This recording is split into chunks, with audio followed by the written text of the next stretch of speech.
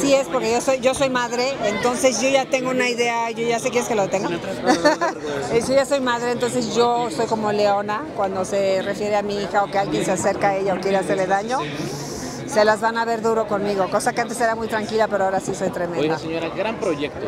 ¿Cómo se siente también? Porque es un proyecto con causa para evitar que la trata Increíble, increíble.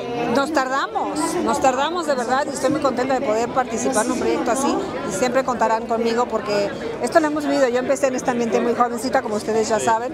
Yo sé lo que es, yo sé lo que es y, he sentido todo este tipo de situación. Entonces estoy muy contenta de poder participar con Carla Estrada, que es la máxima directora productora que hay.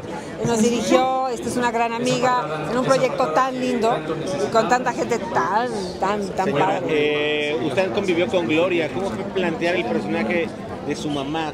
¿Qué consejos al final o qué, qué coacheo le dio? Increíble porque sí me coacheaba, me decía, mi mamá es así, ella reaccionaría de tal forma en esta escena. Entonces ella me platicaba cómo era, cómo debía interpretarla, entonces fue padrísimo, la verdad. ¿Gloria pudo hablar? No, no, nunca tuve la oportunidad, todo fue con, directamente con Gloria. Muchas gracias. Más que, más que suficiente.